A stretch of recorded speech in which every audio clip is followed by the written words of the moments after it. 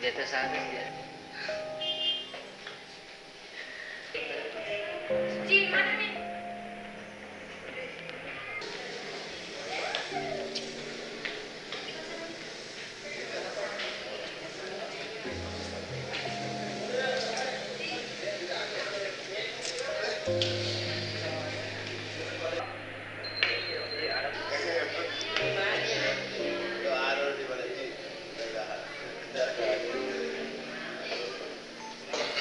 Balik.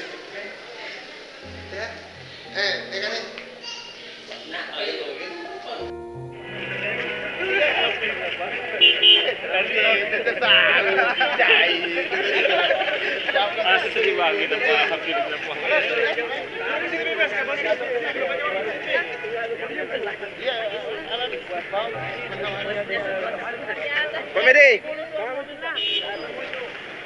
kan dapur Eh, itu kawasan dapur.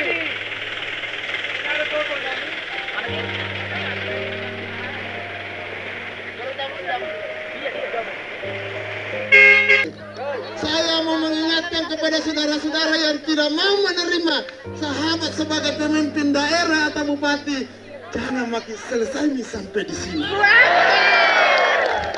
Nampakkan dan perlihatkan kepada masyarakat Pangkep bahwa memang saya bertarung kemarin dan saya siap kalah, siap menang. Karena perlombaan tidak boleh ada dua yang menang. Dan saya yakin dan percaya bahwa teman-teman di sana akan menerima itu karena dia juga adalah sahabat kita. Cuma barangkali minta maaf pada tokoh-tokoh masyarakat, tolong diingatkan selesai sampai di sini.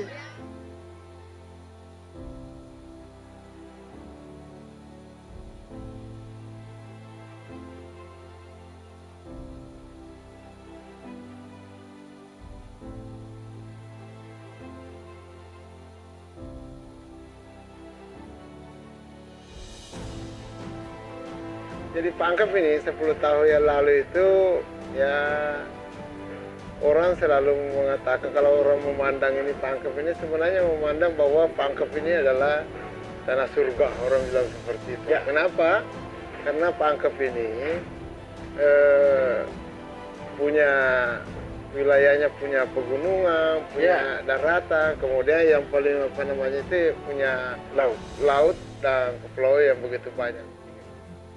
Alhamdulillah kita kelola eh, pemerintahan itu selama kurang lebih tiga tahun. Eh, kita dapatlah sertifikat dari Kementerian Desa bahwa eh, dengan program-program yang digelontorkan di Kabupaten Pangkep dari provinsi lewat programnya Pak Gubernur Pak Sarul pada saat itu kemudian pusat Alhamdulillah kita olah pemerintahan itu tiga tahun bisa keluar dari daerah tertinggal. 2000.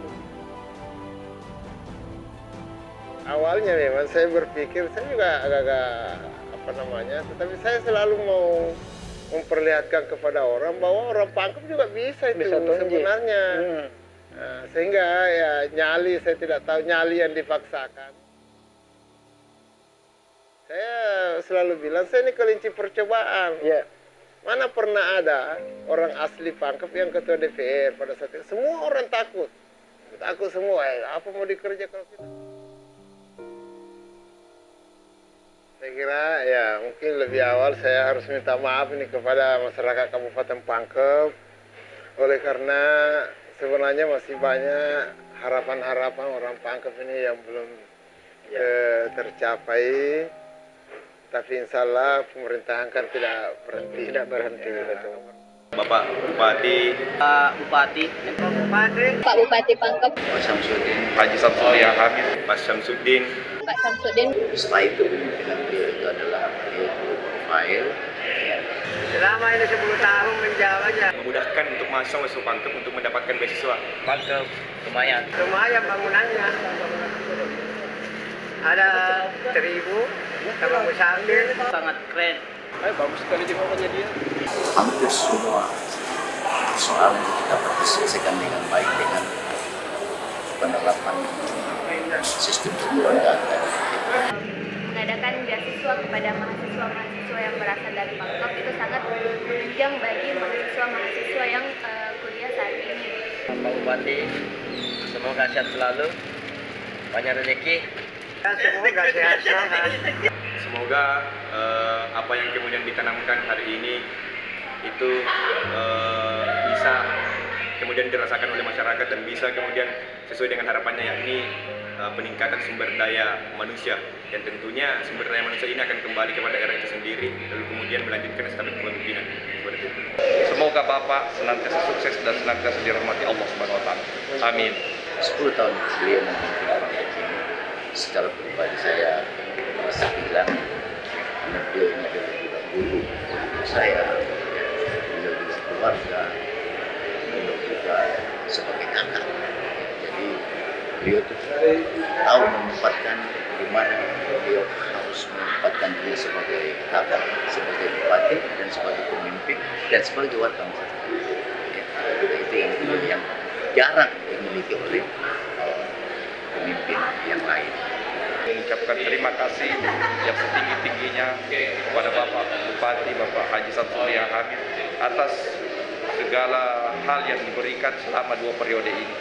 Mudah-mudahan segala hal yang Bapak berikan bisa bernilai ibadah di sisi Allah Subhanahu wa taala dan semoga Bapak senantiasa diberkahi dan dirahmati oleh Allah Subhanahu wa taala. Terima kasih sahabat. Oke, terima kasih sahabat. Terima kasih sahabat. Terima kasih sahabat. Terima kasih sahabat. Terima kasih sahabat.